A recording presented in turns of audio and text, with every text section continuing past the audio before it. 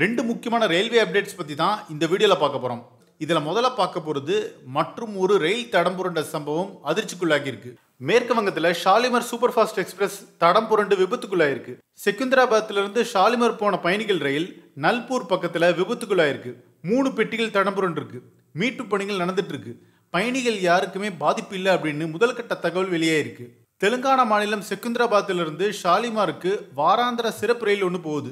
இந்த train number double two five eight zero செகந்திராபாத்திலிருந்து புறப்பட்ட இந்த ரயில் மேற்கு வங்க மாநிலம் நல்பூர் பக்கத்தில் வந்தபோது திடீர்னு தடம் புரண்டு விபத்துக்குள்ளாயிருக்கு.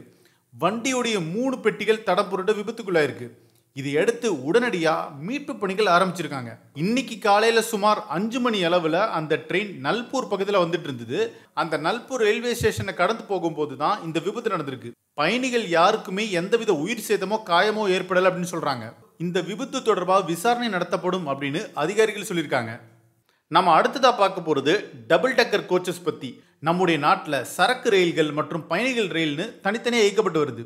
சீக்கிரமாகவே ஒரே நேரத்தில் பயணிகள் மற்றும் சரக்குகளை ஏற்றிட்டு போகிற வகையில் டபுள் டக்கர் ட்ரெயின்ஸ் அறிமுகம் செய்ய இந்திய ரயில்வே பிளான் பண்ணுறாங்க இந்த டபுள் டக்கர் ட்ரெயின் பெட்டிகளை தயாரிக்கிற பணி முழுவீச்சில் நடந்துட்டு இருக்கு.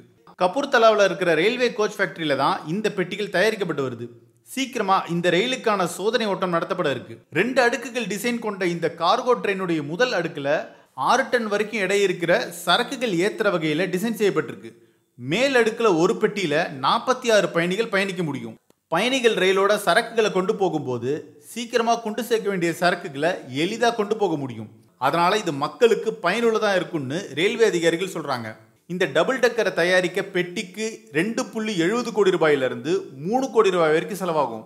இது மட்டும் இல்லாமல் வந்தே பாரத் மாதிரியே வந்தே கார்கோ அப்படின்ற பெயரில் தனியாக சரக்கு ரயில் பெட்டிகளும் சீக்கிரமாக தயாரிக்கப்பட இருக்கு.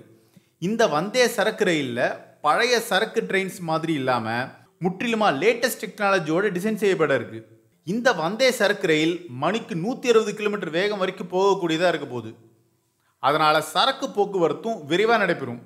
இதன் மூலமாக தேவையற்ற காலதாமதம் தவிர்க்கப்படும் அப்படின்னு ரயில்வே அதிகாரிகள் சொல்கிறாங்க ரயில்வேக்கு கடந்த நிதியாண்டில் சரக்கு போக்குவரத்து அஞ்சு சதவீதம் அதிகரிச்சிருக்கு. கடந்த ரெண்டாயிரத்தி இருபத்தி நாலு நிதியாண்டில் மட்டுமே ஆயிரத்தி ஐநூற்றி தொண்ணூற்றி ஒன்று மில்லியன் டன்ஸ் வரைக்கும் சரக்குகள் கையாண்டிருக்கு. நாட்டில் ஒட்டுமொத்தமான சரக்கு போக்குவரத்தில் இருபத்தெட்டு சதவீதம் ரயில்வேயே தீர்த்து வைக்கிறதாகவும் புள்ளி விவரங்கள் சொல்லுது. ஸோ ஒரு பக்கம் பயணிகள் ரயில் இப்படி தடம் புரண்டுட்டே இருக்குது இன்னொரு பக்கம் பயணிகளையும் கார்கோவையும் ஒன்றா இணைக்க போகிறாங்க டபுள் டெக்கர் மூலமாக ஸோ இந்த ரயில்வே தடப்புரல்வதுக்கான காரணம் என்ன அப்படின்றத பற்றி உங்களுடைய கருத்தை சொல்லுங்கள் அதே மாதிரி இந்த டபுள் டெக்கர் கோச்சஸ் பற்றி உங்களுடைய கருத்துக்களை கமெண்ட் செக்ஷனில் சொல்லுங்கள் இது ஒன் இண்டியாவுக்காக ஆனந்தன்.